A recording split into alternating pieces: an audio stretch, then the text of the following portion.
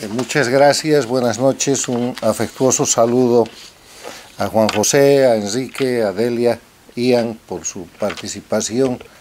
y por la amplia gama de información y análisis que nos han dado sobre el Perú.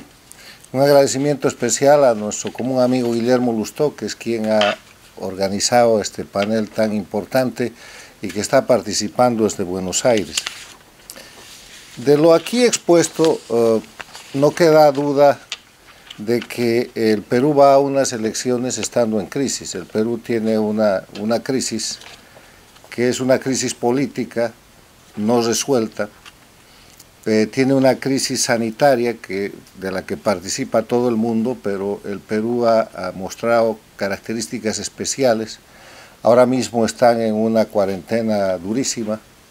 eh, están eh, prácticamente formalmente aislados y tiene una crisis económica que por los datos macroeconómicos a veces es difícil de percibir y escuchamos información alentadora como la que ha presentado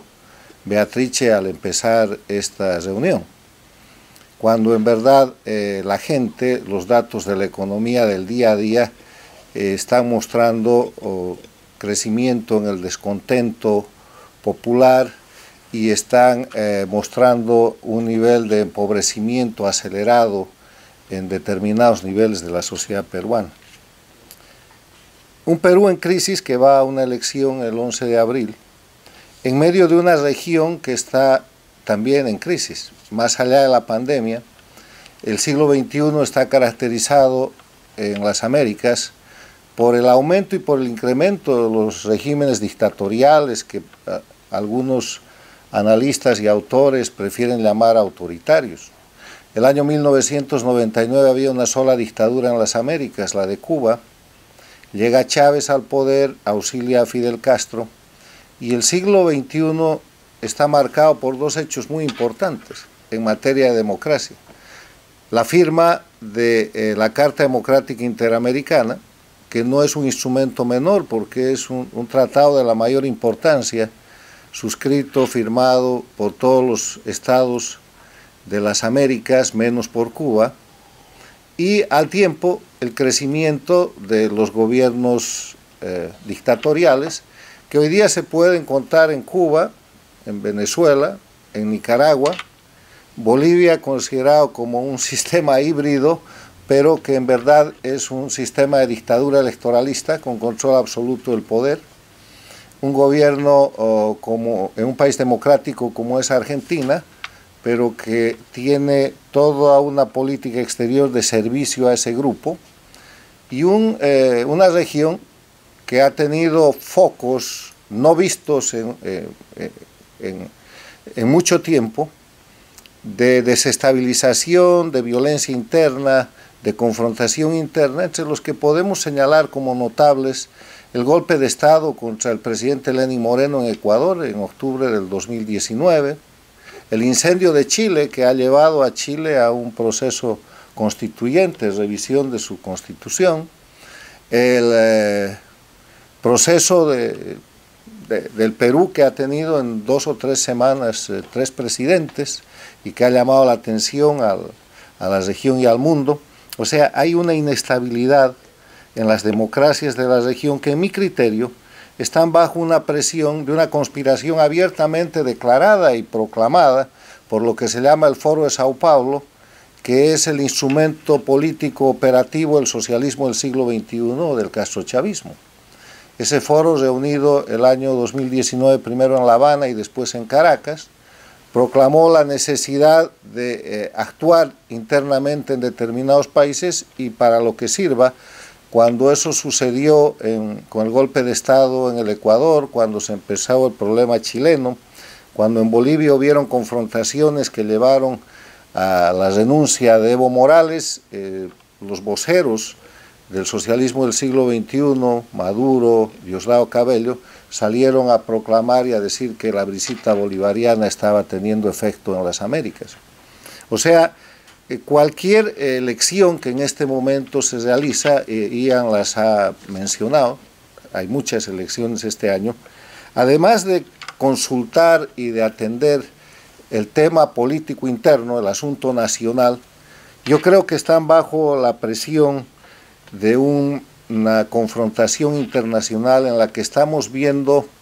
un choque muy claro entre dictadura y democracia con tendencias cambiantes. La pregunta por eso es en la elección del Perú, eh, si hay algún nivel de intervención externa en esta elección, si existe eso, si la ciudadanía lo percibe, eh, cuáles son los candidatos a los cuales el dinero o las acciones del socialismo del siglo XXI está respaldando, o si el Perú está al margen de esa situación, cosa que sería eh, realmente extraordinaria. En el siglo XXI, en, este, en esta dinámica de confrontación, vamos a ver eh, nosotros este próximo domingo una elección en el Ecuador donde se está repitiendo el mecanismo injerencista del castrochavismo, el socialismo del siglo XXI, a través de un candidato, Arauz, que hace campaña con la foto de Rafael Correa, que está inhabilitado para ser candidato porque tiene una condena a ocho años de cárcel con sentencia ejecutoriada en las tres instancias que la ley ecuatoriana, eh, que los procedimientos ecuatorianos permiten, y que está llevando adelante un proceso de decir que él, va a tomar el poder para permitir que Correa regrese, un poco lo sucedido en la elección de la Argentina el año 2019, cuando la candidata que estaba señalada por corrupción y que estaba con una cantidad de procesos, en vez de ser candidata a presidenta, Cristina Kirchner se pone de vicepresidenta y pone por delante una buena figura que es Alberto Fernández, que termina ganando la elección. Y que han hecho en el primer año de su gestión una gestión de política interna para eh, proteger a Cristina y su grupo, los 12 años del gobierno Kirchner, de las acusaciones de, y procesos de corrupción y que ahora están llevando adelante una gestión política para la impunidad que importa el ataque a la Corte eh, Suprema de Justicia, a los tribunales federales, para ampliarle el número de, jueces y de esa manera poder controlar el único poder que no controlan todavía en la Argentina. En Bolivia eh, sale Evo Morales después de un mega fraude con renuncia el año 2019, se pone en marcha un proceso de transición que resulta no ser tal. En Bolivia en el, eh, durante entre noviembre del 19 y octubre del 2020 el concepto es que salió el dictador, pero no la dictadura, porque quedó todo el esquema. Y ahora ha vuelto el dictador. Tiene un presidente eh, que él ha señalado para la elección.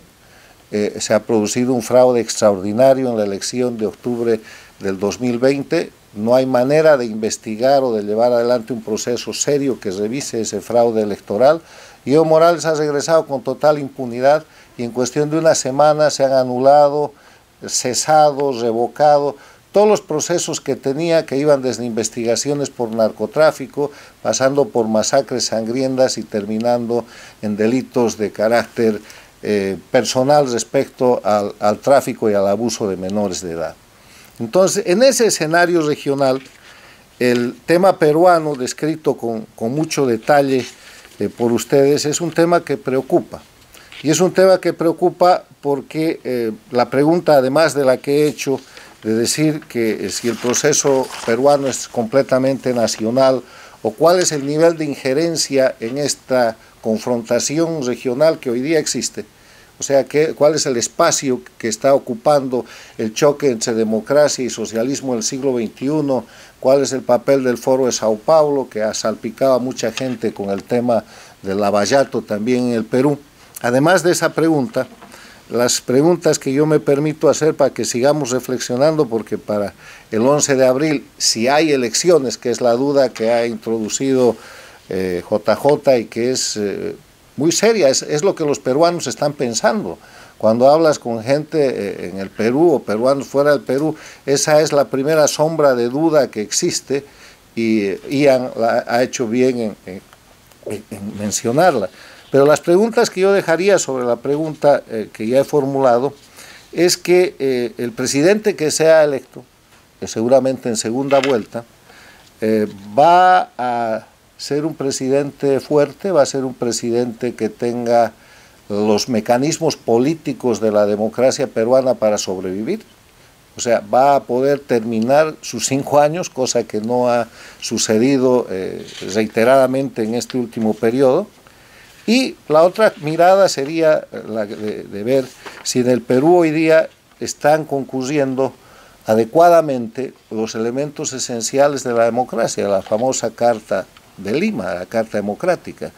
que son eh, el respeto a las libertades fundamentales, los derechos humanos, la vigencia del Estado de Derecho y la división e independencia de poderes. Yo tengo que eh, terminar diciendo que si hay una cosa que ha quedado clara respecto al Perú es la fortaleza de su institucionalidad de una u otra manera han resuelto crisis tras crisis, cambio de presidente tras cambio de presidente, confrontación política, conspiración interna, todo, y eh, ahí está la democracia. Pero es una democracia que está acusando elementos de crisis que al parecer no se van a resolver en esta elección que viene y si no se resuelven, eso puede ser la base de una crisis mucho mayor que venga en el futuro. Muchas gracias.